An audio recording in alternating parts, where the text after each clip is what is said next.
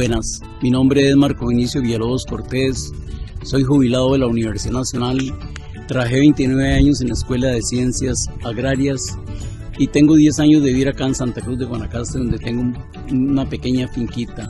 Lo más importante en mi vida es que soy sobreviviente del accidente de Cinchona.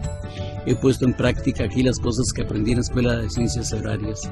Eh, lo más importante en esta época de pandemia es cuidémonos, cuidémonos tanto niños, jóvenes, adultos, adultos mayores y quedémonos en casa para tratar de no contagiar a uno de nuestros amigos o nuestros seres queridos o a otro ser humano.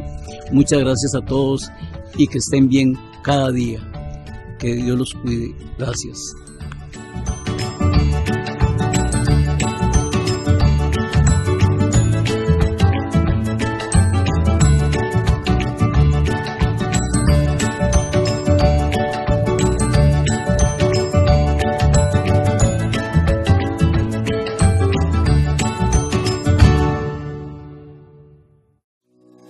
Yo me protejo y protejo a las personas mayores.